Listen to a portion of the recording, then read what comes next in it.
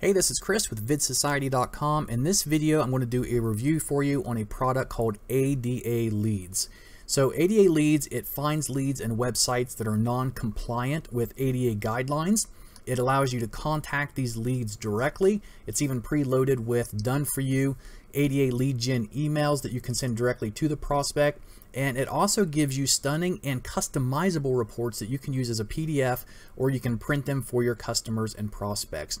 Now there's more to it than that. You can find the details about the upsells and the pricing and what all you can get included with this directly under the video in the description box along with the link that'll take you so where you can go to the sales page and pick this up. Now if you do buy it through that link you'll also get the bonuses that are mentioned under this video in the description. So let's dive into the dashboard and I'll show you what this tool is and how it works. So when you get in your dashboard, it's going to show you all the prospects that you've currently found and out of those, how many clients you've got from them. You can also access all the help, training, and the frequently asked questions over here on the right hand side. This video here, I highly recommend you watch it before you get started, just so you can know exactly how everything works in here. Okay, on the left hand side, you can see under prospects, you have a few options. You have your prospect finder, which is the main part of this tool. Once you find prospects, you can add them as your prospects. When you do, they show up here, and you can even categorize your prospects into different categories. Now, once you find these prospects and you email them or call them or however it is you want to contact them, you can add them as clients. Under this are audits that you can create for your prospects and send to them. The widgets is a tool that you can use to give them a code they can add to their website that allows them or their users more functionality to the website, which makes it more compliant with the ADA guidelines and rules. And then we have the settings. This is where you're going to start from. So when you first come in here, you want to go to settings. And depending on the upsells that you get, you may or may not have access to all of these. But what you'll want to do if you do have access to this is to add your own logo here, your website, your contact email, and your phone number. You can even put a footer here you want to enter your API settings, which is simply your Google API. And then your email settings here, if you upgrade, you can get professional templates or you can create your own templates here that you can use to send out to your prospects. And then your SMTP settings are what's going to allow you to send these emails. You want to make sure that you fill these out. Here they are recommending that you use Mailgun. So what you want to do is after you get these settings put in, you want to come up to Prospect Finder. And from here, you're simply going to enter a keyword and a niche and a location or a city. Now, this is global. It uses Google to find these locations, so you can enter any location from anywhere in the world. So, for example, if we want to do, say, something like, uh, whoops, we, that's the wrong box there. We'll do, just say lawyer. Let's do maybe like Cincinnati, Ohio. You can see right here, you can choose Cincinnati, Ohio. Or if you want to do somewhere like London, you can see here you can do London, Ontario, and Canada in the UK, so anywhere like that. So for this example, we're just going to do uh, Cincinnati, Ohio, and click Search Prospects. Now this usually takes less than a minute, and what it's going to do is show you a list of lawyers in this area and it's only going to show you the results of those that has websites because obviously that's what we want to find are prospects who has websites and then we want to find out for sure if they are ADA compliant or not. And if they're not, it's going to allow us to send them an audit, which is very well made for the chance of getting this as a client to our business or even adding additional services to our existing clients. Okay, so here we have 11 results and it gives us their business name, their URL, the country, city, phone, and the actions, which right here we can click add. And this adds them to our prospects. Now we can also get more information by clicking this little eye icon. It shows us the details or we can even visit their website if we want to. Now if you want more results than what's shown here, you can always come down and click load more to see if there are more. Right now what we're going to do is just go ahead and add a couple of these uh, to our prospects list and all we have to do is choose a category. Let's just say we uh, injury lawyers, we want to save it and we can do that with as many of these as we want to. And then when we're done, we're going to come over here and go to our prospects you can see where we just added this one. And we're going to create a report. So now this plus button here adds them as a client. So let's say we send them this audit and they contact us back and say, yeah, you know, we want to do business with you. We can click this here and add them and it puts them in our client list. So we know we now have them as a client. But right now what we're going to do is, is click on this button to generate an audit and we can select an email template here if we have one set up. Otherwise, you can just choose the options here, what you want to create For this one, we're just going to do an ADA accessibility, but I believe in one of the upsells, you also have the option to add the performance and the SEO. Uh, so it checks for that as well, but we're just going to do this and click on generate. Now, if you do have their email and everything set up in here, you can actually click generate and send. So not only does it generate the um, audit, but it also sends it to their email address. But for now, we're just going to click on generate. Now down here, you can see where it says audit requested. In about a minute here, it's going to pop up this little bell, will show a notification, or over here under uh, audits, it'll have a little red dot showing us that the report has been created. What we're going to do is go ahead and go to the audits. And you can see here where there's been quite a few of them already created. Let's just jump down to this one here, injury law group.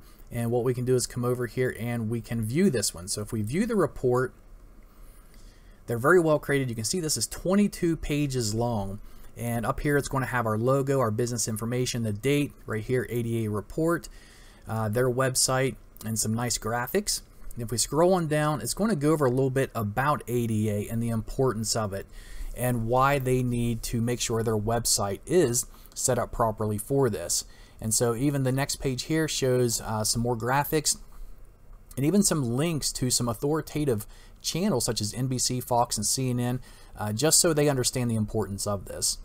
And if we scroll on down, we can actually get to the part here where it talks about some of the main issues which makes the website inaccessible. And then if we scroll on down, we get into the part where it actually examines their website and tells them what needs is fixed. So here in guideline one, we can see the this section is perceivable. And so if we scroll down, we can see that there's actually a lot of issues on their website that makes it non-ADA compliant.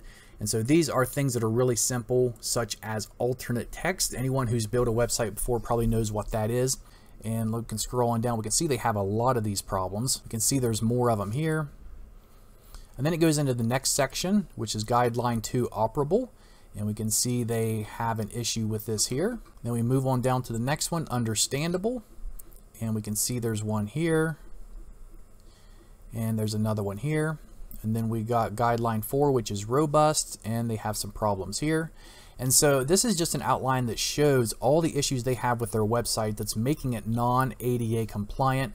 And then of course you can further contact them and explain to them about your services and how you can fix this for them. So if we go back over here, let's say this, uh, we're able to contact this company, they want to do business with us.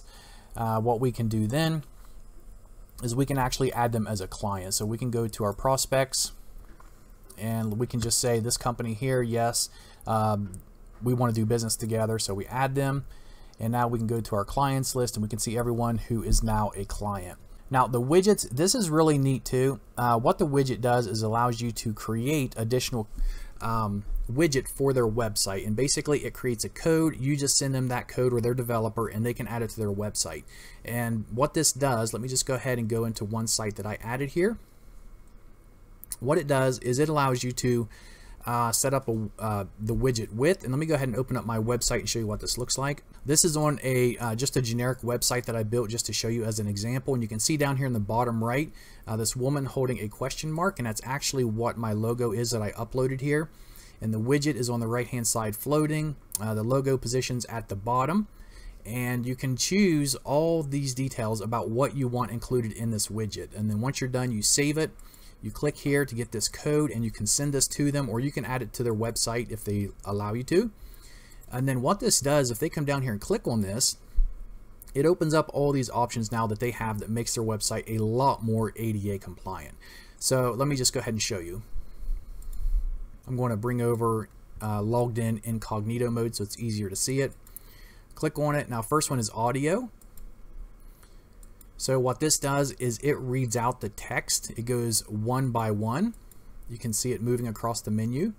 And then down here is different kinds of text. So if I click it, you can see how the text changes. And then under this one, it can make the text a lot larger or smaller. So if we click it, you can see how the text gets a lot bigger. And then under this, we have contrast. And then here we have, you can see how small this arrow is that I'm moving around. So if we click on this arrow, it actually makes it a lot bigger, so it makes it easier to see. We have a little red line, which kind of helps them to see better, to see where they're at. And then you have this option here. It says keyboard focus, press K. So for some of them who has a hard time um, seeing, they may be able to use this option. And lastly, there's this one down here. Let me get off this line. Uh, this bottom one here is kind of like a highlighter to help them to see where they're at. So all these tools help um, a lot with the ADA compliance laws and the regulations for business websites, uh, which makes it really great, really easy because it only takes up seconds to create this widget. And all you have to do is once you come in here, to the widgets, you just set it up, the background color, the logo, choose which options you want on here, save it, and then you can click to copy the code and add it to the site, and that's it. And really, that's all there is to it. So ADA Leadz is all about finding the leads. It's about finding the websites, the businesses that has websites that are non-ADA compliant, about creating professional audits, sending off to them, uh, to possibly getting them as a client. And then from there, you can uh, offer them the services that you use or even the widgets option here to help them to make their websites more ADA compliant. But this is what it's all about. I hope you guys enjoyed this video and this review of ADA Leadz. If you have any questions, just leave them below. If you like this video, please give it a thumbs up, subscribe to my channel, and I'll let you know when I put out new videos. Thanks.